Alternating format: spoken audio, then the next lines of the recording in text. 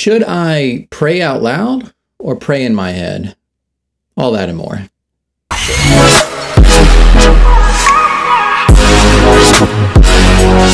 Praise the Lord, everyone. My name is Brother Mario. Welcome back to this channel. And if you're brand new, welcome. The purpose of this channel is I'm here to show you that we are real apostolics, real problems with real solutions, all solved in a divine way. Now, I'm going to get right into this apostolic content here, and we're going to be talking about prayer specifically in this video. And as I addressed and asked the question earlier, the question is going to be should you pray out loud or pray in your head?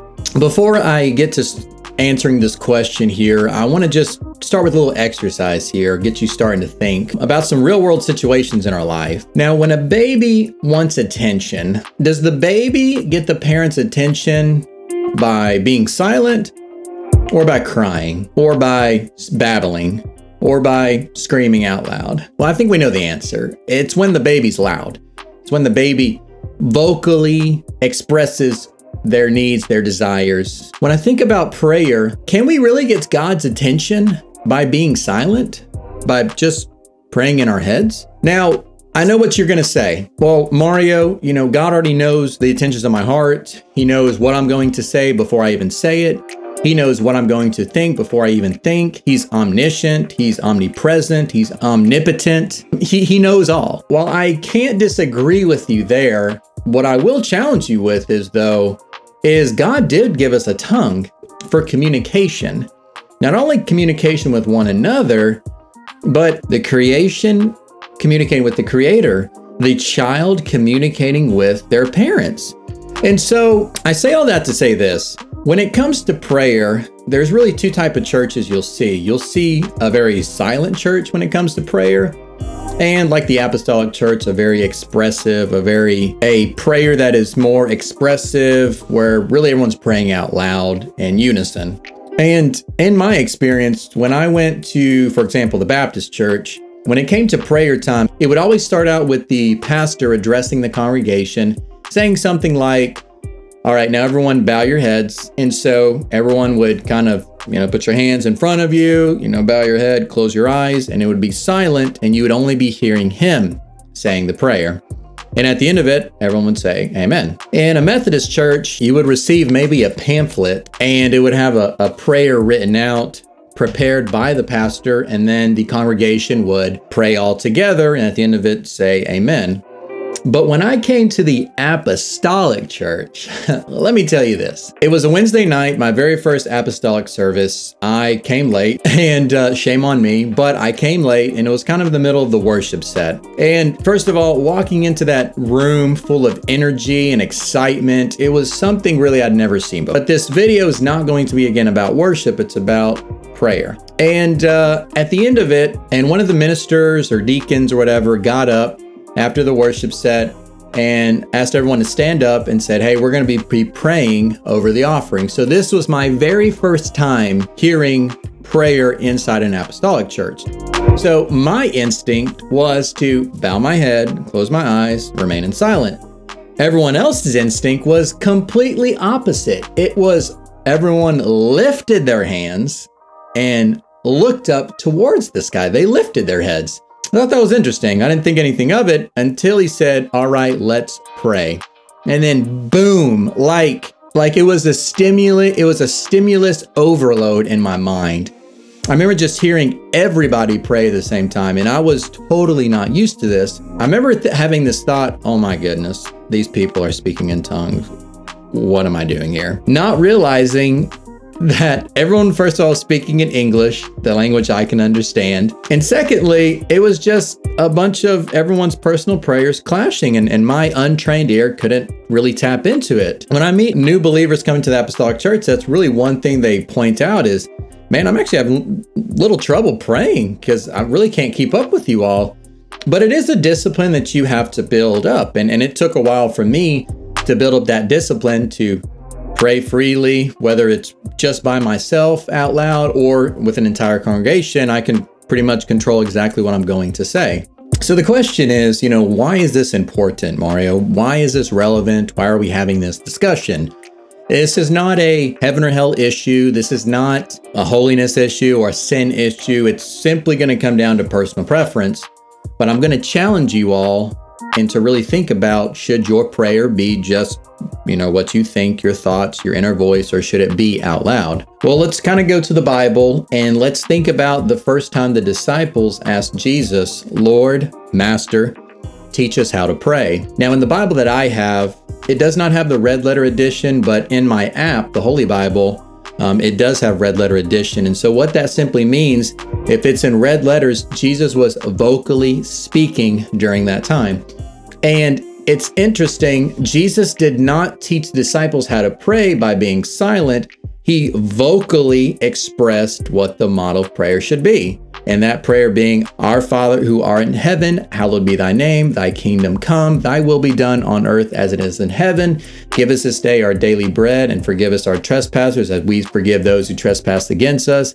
Lead us not into temptation, but deliver us from evil, for thine is the kingdom and the power and the glory forever and ever. Amen. He vocally taught the disciples out loud how to pray. And so I have no doubt that the disciples modeled that exact prayer. But just hang on to that point, okay? He vocally said it out loud. Now, if that's not enough for you, what about the time Jesus went to Gethsemane?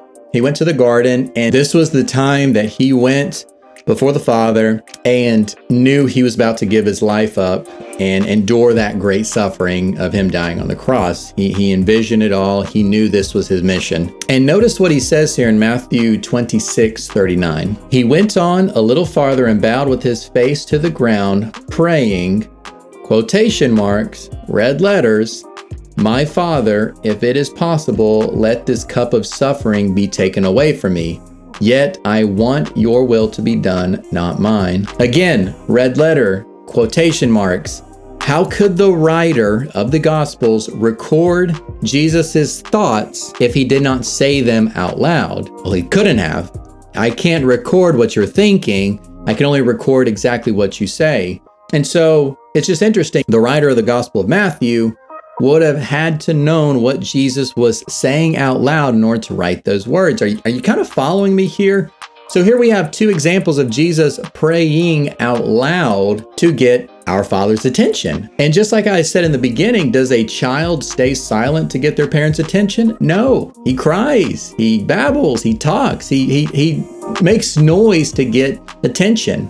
Ultimately, the devil wants the church to keep silent. See, the devil is not bothered with you when you pray inside your head. Why do I say that? Well, have you ever started thinking and then bam, you get this thought that's so random, out of nowhere, no rhyme or reason, and it really just kind of interrupts you. It really throws you off. Well, have you ever been praying in silent and then bam, another thought interjects, interrupts what you were trying to say? Because the devil can play mind games with us. He has the ability to, to throw thoughts in there for us to, to really try to throw us off guard or, or think of on the past or think of sin or, or whatever the case may be.